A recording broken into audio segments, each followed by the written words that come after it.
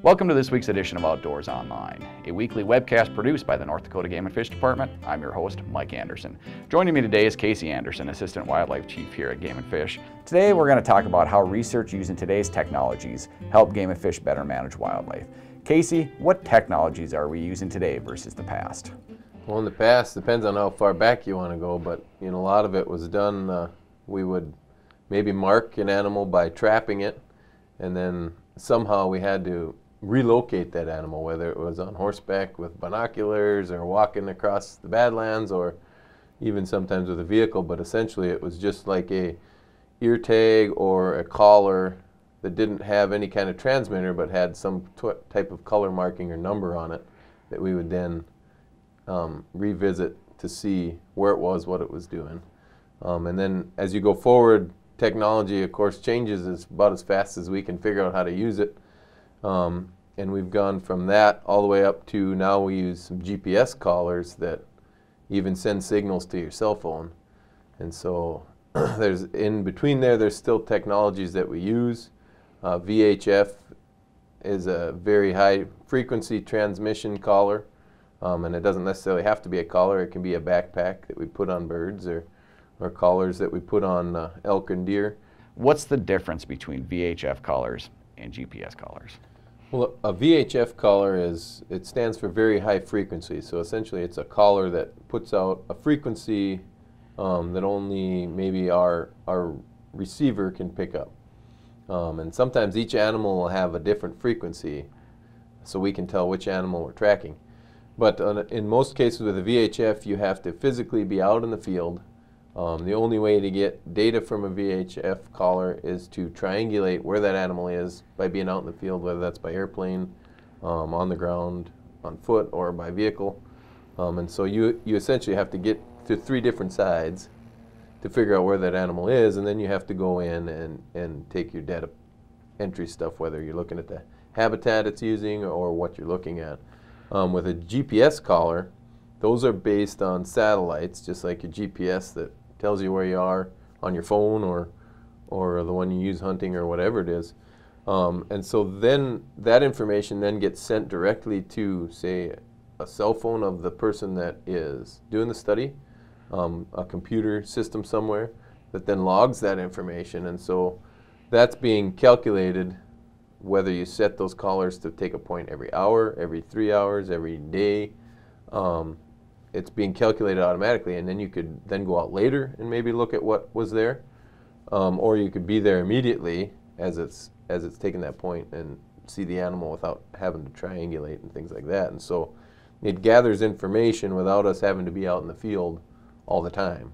Sure. So we have the VHF collars, which basically a biologist has to go out in the field and, and, and mm-hmm. do telemetry and, and, locate the animal. And, and, uh, and, then we have GPS collars where uh, we've put GPS collars on mountain lions, deer, uh, uh moose, mm-hmm. elk, a lot of big game species, uh, even birds, like you said.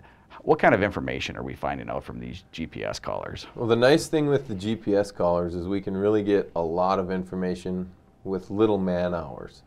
Um, once you have those collars out there, you can put you can set them right from the computer that's got control of them, and, and it can tell it to take points at certain intervals during the day. It can tell it to take points um, more frequently, less frequently on the fly. And so, depending on the data we're gathering, we can get a lot of information from those collars. Um, and some of the things that we use those collars for everything from what type of habitats are they using uh, during these periods of their life, whether it's, you know, for example, fawning time, winter, um, spring and summer, and then even during, the interesting thing about GPS is even during different temperatures, it'll, it'll record temperature of that spot where that animal's standing, and so it, we can then look at what was it doing during this temperature and, and things like that. And so it all kind of depends on the goal of our of our study that we might be doing. Um, another thing a lot of times we look at is mortality. A GPS collar will instantly give you a signal, and some of the VHF will too, when it's not moving anymore. There's a little device in there that as long as the collar keeps moving during the day, um, it'll, and if it sits still for a certain amount of time, it'll send a signal out, a different signal. And so uh, we can then go in directly and see what reason it may have died. Um, and so it's, it's pretty good information to study pretty much the whole, the whole life of an animal just depending on how you set, set it up and what you're exactly looking at. Well, give us an example. Like, uh, what, two, three years ago, we put some collars, GPS collars on moose. Right, and so we had GPS collars on moose, and uh, a lot of it was looking at are these moose, for one, getting pregnant in the wild, and what are they, where are they going? Because we have moose that have moved into the south and west from their typical range in North Dakota, and so we looked at, you know, were they having calves, and how, were these calves then getting, you know, into the population as adults? And so we looked at we looked at that, and then and also we're going to correlate some information with temperature. That hasn't those numbers and data haven't been analyzed yet, but with temperature and where they're at, we're going to look at some of that too to see if we can't figure out why we've had such a good success with the moose expanding in North Dakota. Now you said you've put transmitters on birds, small birds, mm-hmm. sharp-tailed grouse. Tell me a little bit about that. Yeah, well, we've done a few things. The sharp-tailed grouse, one of we had some um, transmitters put on them, and part of that study was to see, you know, how human development may impact sharp-tailed grouse, whether that's roads, gravel pits, you name it. It could be anything um, that we as humans do on the landscape. And so, and not only that, it was then to see in North Dakota how far some of these grouse may move from dancing leks and things like that, breeding grounds, and and then uh, and then, of course, when you have collars on or backpacks or whatever you call them on any type of animal, you try to get more information. And so we look at nesting success and things like that. How about the small, small birds? Yeah, we've even had been involved in a study um, through our state wildlife grants program that had little tiny um, devices put on songbirds essentially out in um, the western North Dakota. And those are mostly mixed shortgrass prairie type um, habitats that they were looking at and how these songbirds were using that nesting, what might be predating on these birds and things like that. And so, yeah, they can make them as small as your thumbnail, uh, and, you know, up to what they put on a moose is a pretty good sized sure. device. Um, we've done a lot of collars on whitetail and mule deer. The whitetail studies, um, we've done four across the state in different areas of the state, and actually there's a few other states that uh, did very similar, if not the same type of methods when they did the study. And so then we have somebody that's actually looking at those, all those studies together within the other states and, and North Dakota to kind of come up with maybe life history parameters in upper Great Plains type of thing. And so with all the data that is used with these collars and things, we can we can correlate and maybe make some different type of management planning things as far as where we're at in the in the uh, region as well. Um, with mule deer, we had a study that had GPS collars on mule deer, and it was tracking um, their movements, and again, their movements based on um, maybe human infrastructure, whether that's roads, um, gravel pits, and things again. Uh, and it was out west, and so there was a lot of traffic and things like that too. Not only is a road in place, but then there's traffic and stuff that's involved with the road. And so, um, and then also, does that those things affect the survivability of mule deer? Do those things affect our mule deer moving into a place where they're maybe using a secondary habitat versus their chosen habitat? How is this information used in?